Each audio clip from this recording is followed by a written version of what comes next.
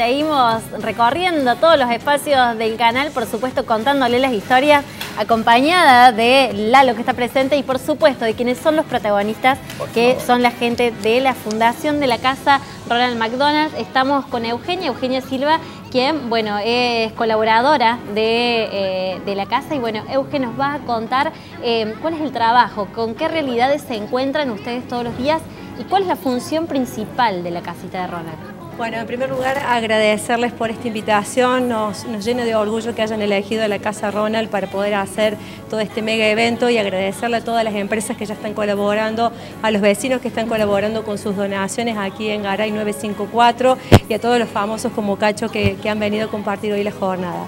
La Casa Ronald trabaja para mantener a la familia cerca en uno de los momentos más difíciles que les toca transitar, como es tener un hijo bajo tratamientos médicos prolongados o de alta complejidad.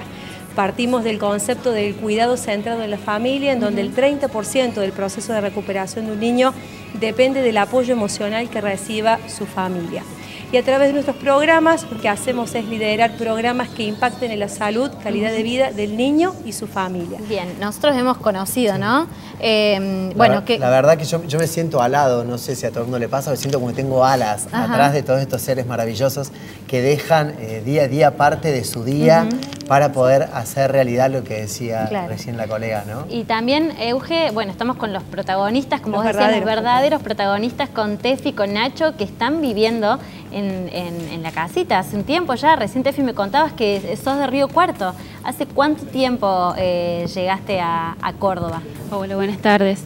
Eh, nosotros, eh, bueno, él es Nacho, está con un tratamiento oncológico hace tres meses y un mes y medio que estamos en la casita.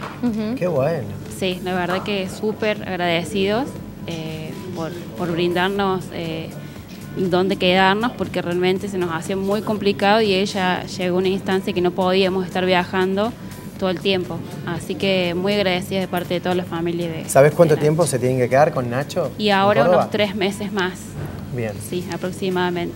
Bien. ¿Y Nacho qué opina de todo esto? Nacho, ¿qué opinas de toda la movida? Y de todo, y...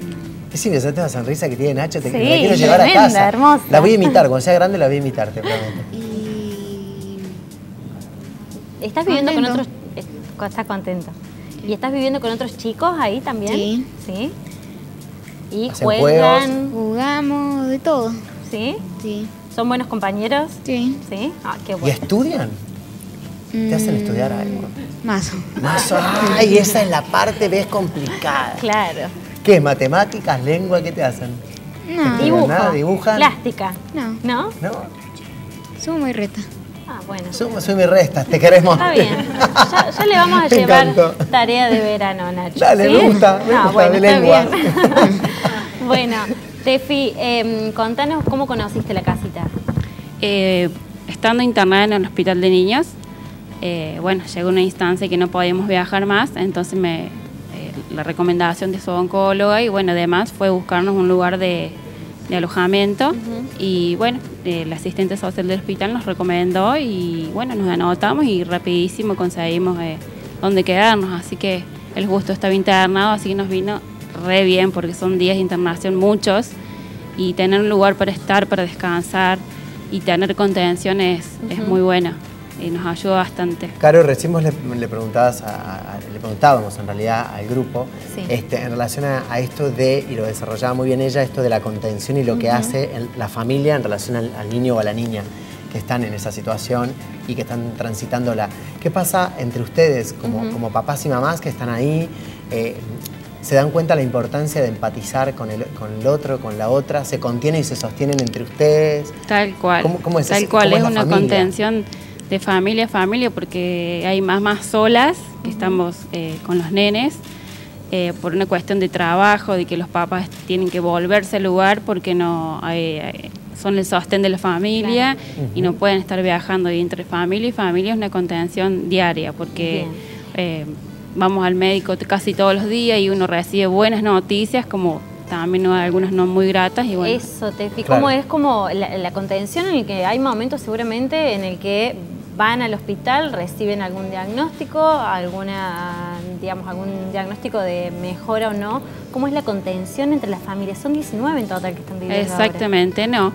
Eh, somos un grupo de familias eh, numerosas y donde existe la contención porque todos estamos pasando, si bien por distintos diagnósticos, eh, sí, hay un, llegas y te ven que estás mal y, y frente de ellos uno tiene que estar armado.